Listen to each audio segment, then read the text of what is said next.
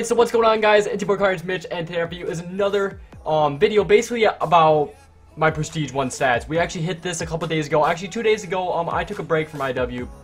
Many of you probably know why. Um, it's a it's just one of those games, man. But anyway, um, we're gonna get right into this. Basically, guys, this is gonna be my best class setups video. Um, they don't have leaderboards out yet, so I won't be able to show you guys my stats. But I know I have about a 2 KD in this game. Um, about an 800 score per minute as of right now.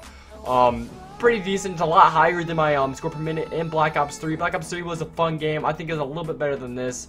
You know, time to kill, all that stuff is a little bit off in this game, but I believe they'll fix it soon. But we're gonna get right into this, guys. This is my guy I have right now. Um, I am using the Warfighter combat rig.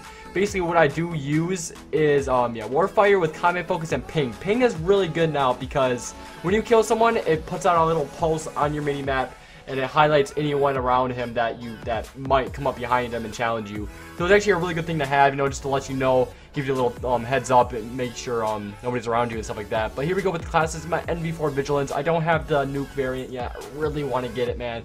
But um, this is what I run on it right now. Um, I run foregrip and stock.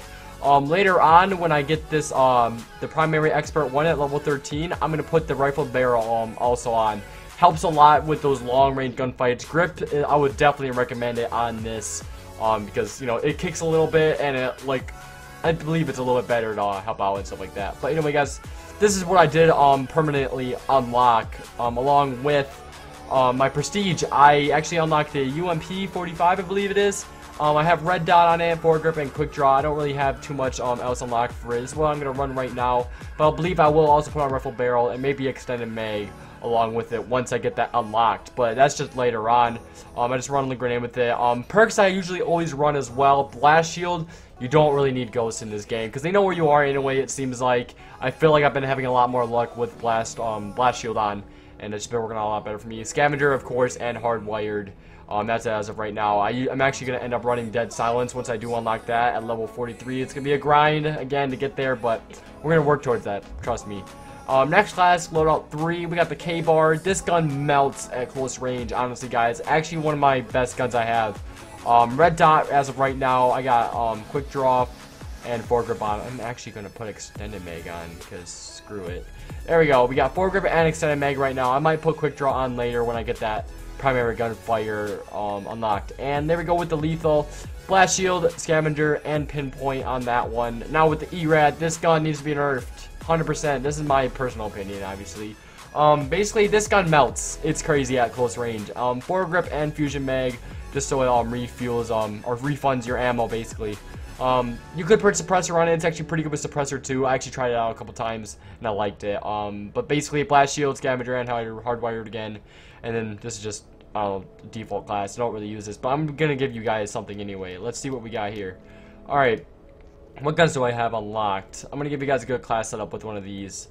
Um, let's go. Let's go with the R3K, okay? You basically do need reflex with this gun. The sights on this are very weird. I would definitely recommend running foregrip because it, it's a burst weapon. You get that kick. It kicks a lot more. Basically put stock on that.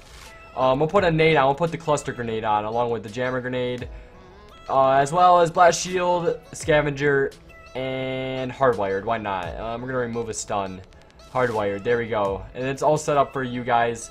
Basically, this is my best class setups I could give you guys. This is what basically everyone's getting gameplays with. Everyone wants to get these high kill gameplays and stuff like that. And basically do get at the game in general. It's really hard because honestly, time to kill is just broken. But anyway, guys, hope you guys did enjoy this video.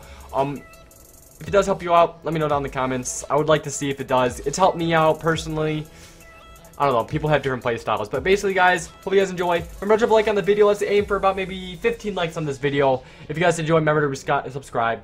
Subscribe to my channel. Um, I believe we just hit 1.9k yesterday. Yeah, yesterday we hit 1.9k. Let's try to aim for that 2k milestone. I really want to hit that very soon. Um, IW, I believe I'm going to blow up in this, guys. I'm really feeling it. Um, I'm trying to get some good content out to you guys. But anyway, guys, see you guys in my next video. Peace out.